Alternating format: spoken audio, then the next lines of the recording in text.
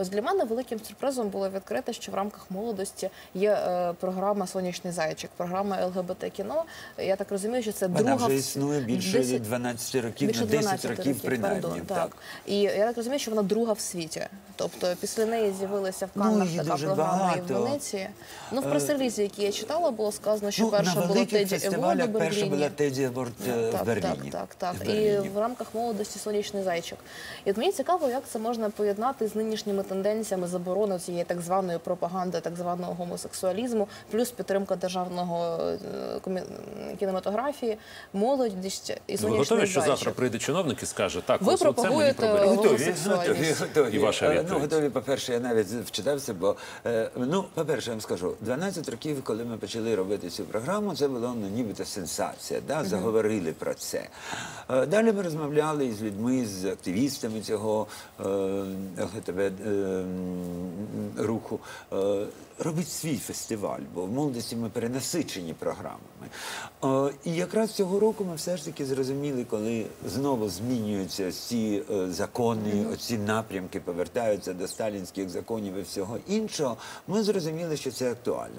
Досвід нас за 12 років показу були різні, навіть з помилками. Одного разу ми показали, наприклад, програму Паризького фестивалю е, кіно. І це був дійсно дуже невдалий, бо ми просто на них е, не подивилися самі, а взяли їх програму. Це було десь на межі дійсно порно. І це не було цікаво. А цього року ми відбирали дуже ретельно. Це соціальне це кіно, справжнє так? кіно, Е, кіно, яке говорить про толерантність, про можливість вибору для людини, е, про, сприймання соціальним світом цього кіно.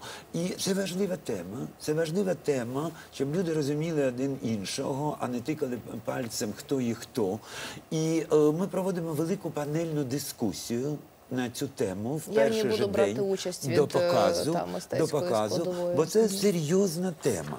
Безумовно, знаєте, я був колись і не така була дискусія фестивалів цього напрямку. Одна там жінка казала: ні, ось ця картина, вона соціальна, вона не лесбійська. Я кажу, даруйте мене в 66-му році.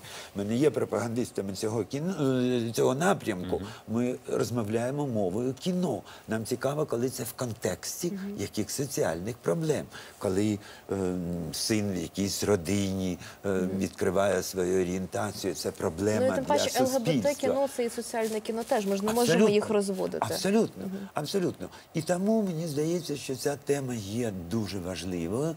Вона, ну, перше, треба сказати, коли зустрічаєшся на Канському фестивалі з режисерами, з критиками, то це більший відсоток, ніж в е, звичайному суспільстві. І ця тема існує, і ми не маємо закривати очі на це.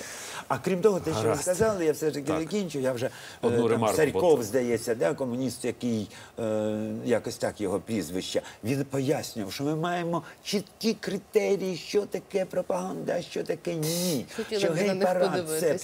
Пропаганда, а показ фільму це не є пропаганда.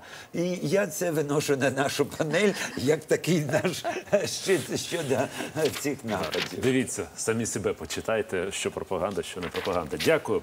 Пане Андрію, ну хочеться вірити, що нічого не зірветься, все буде гаразд. А, І що ми встигнемо на всі цікаві покази цьогорічної І зауважу нашим глядачам, що все те, про що ми сьогодні говорили, буде відбуватися з 20 жовтня по 28 жовтня. Дати я назвав абсолютно правильно. Сподіваюся. п'яти кінотеатрах Києва.